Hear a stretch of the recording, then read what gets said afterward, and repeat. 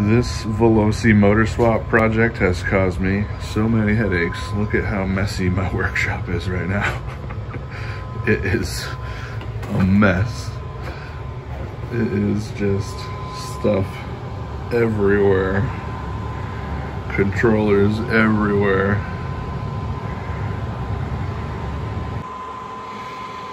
Alright, so I'm having some issues trying to get this motor to spin with any of the controllers that I'm used to using. It's uh, a Boma motor, the MY1020. I got it on electricscooterparts.com.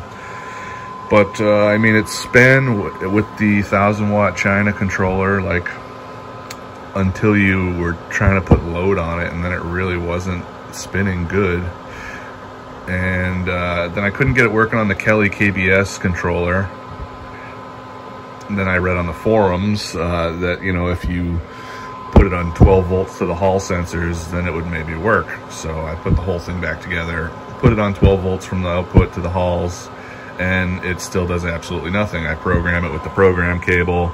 Uh, I do the auto identify and it moves the motor a little bit and cogs it like it's finding the configuration and then it doesn't do anything with the throttle at all. And there's a green light on the Kelly, so I have no clue why the Kelly will not spin this motor at all. But I think there's something really weird with the Hall sensors on this motor because they act weird even on this controller.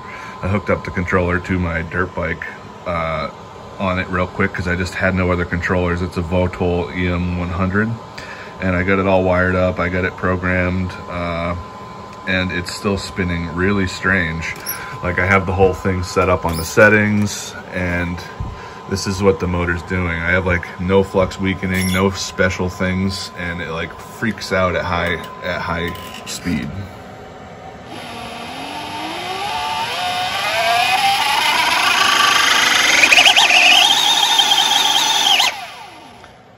And the RPM goes crazy sporadic and it's all over the place. So not really sure what's going on with this motor. I mean, it was the only motor I could fit inside this housing. Uh, it's very small diameter. It's like 108 millimeters or whatever it is. But a little disappointed trying to get this thing up and running and we're having all sorts of issues. At slow speed, it seems to be fine on this controller, so I think I could get it out for a test ride because you can go easy on the throttle and get like the first 10 steps to operate. Yeah, uh, still kind of messes up. You can hear it. Yeah, it starts going crazy. And I mean, even if you go into the settings, it's the same thing. Sorry for the noise. I have my giant lab computer over here with this like 120 millimeter fan spinning in our face. But I forgot to shut it off. Yeah, you go into the settings. I got three pole pairs, so this motor only has six magnets, so that's correct. And the Hall angle I have set at 90 right now, which doesn't make any sense, but it's uh, this thing auto-identified with five pole pairs and 60 Hall angle, and it ran like complete crap. It seems to run better at like 80 to 90 on the Hall angle, which doesn't, which doesn't make sense at all. It should be 60, 120. You can also put a negative 60 and negative 120, and it doesn't do anything. And if I try to exchange any of the Hall phase wires, it just, the motor completely locks up. So this is the only configuration that actually spins it, but it's still not solving the issue. So I've, uh, I'm looking at maybe sourcing another motor now, which is really hard because of the size constraints.